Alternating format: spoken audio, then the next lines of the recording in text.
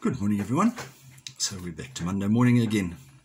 Today is the uh, feast day um, of Saint Andrew Kim Taegon. I presume I got the correct pronunciation, probably not.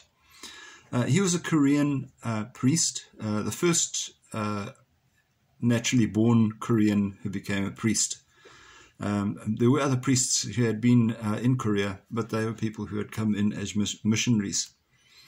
What makes uh, uh, the life of um, Saint Andrew uh, significant is that um, he, was. It was during the time of the late 18th century towards the mid 19th century um, when there was basic persecution of Christians in Korea. Any anybody who who followed Christianity of any kind um, was persecuted and put to death. In fact, there were over 10,000 more than, a lot more than 10,000 people who were martyred.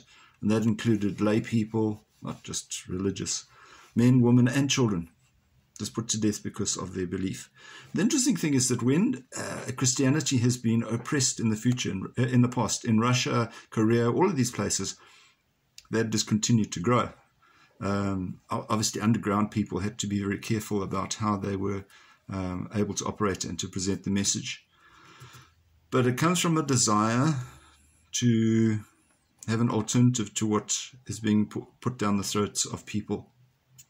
Um, the gospel today is quite an interesting link uh, in association with this. Is from Luke's gospel, chapter 8. And it's that reading which is, um, No one lights a lamp to put it under a bed.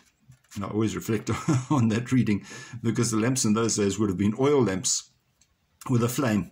Uh, I don't think it's a particularly clever idea to put that under a bed. Under any circumstances, you might wake up uh, in a bit of a flash. Uh, excuse the pun.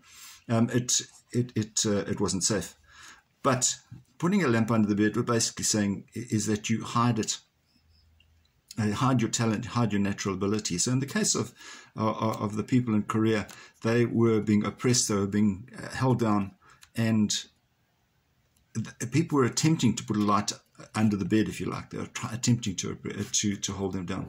Uh, the reaction was that people um, uh, came back and continued to to, uh, uh, talk about Christianity, to spread it, and so forth. And sadly, that ended up with huge martyrdom. So it's not just St. Andrew's feast day, but many of the martyrs who uh, were associated with him.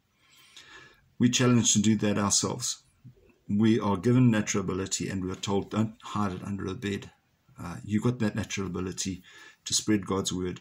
You need to let it come out. May God bless you and may God keep you safe today. Bye bye.